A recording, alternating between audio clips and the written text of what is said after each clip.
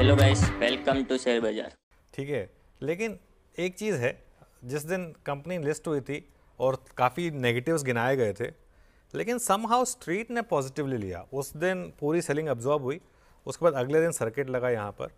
तो ये price pattern काफ़ी इंटरेस्टिंग है। ऑलमोस्ट वही प्राइस पैटर्न है जो मैंने होनासा के केस में देखा था। हाँ होनासा के केस में ये था कि वो प्रॉफिट मेकिंग कंपनी थी, यहाँ अभी भी लॉस मेकिंग है।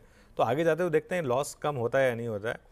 पर्सनली वैसे एक चीज़ है देखिए अब मैं इसमें किसी के ऊपर कमेंट नहीं है लेकिन मेरा ये मानना है कि आ, कुछ कंपनियाँ हैं जिनमें आप आप दिल से चाहते हैं कि वो कंपनियाँ अच्छा करें। अब वो करें या नहीं करें वो अलग बात है। जैसे जोमेटो हो गई ओला हो गई इवन होनासा हो गई। क्यों? क्योंकि ये फ़र्स्ट जनरेशन एंटरप्रेन्योर्स की कंपनियाँ हैं इंडियन एंटरप्रेन्योर्स की। तो इसके लिए अगर ये कंपनियाँ अच्छा करेंगी ना तो ये एक एंटरप्रेन्योरशिप के लिए एक बहुत बड़ी चीज़ होगी। इसके लिए मैं चाहता हूँ कि ये कंपनी अच्छा करे। अब करेगी या नहीं वो टाइम बताएगा।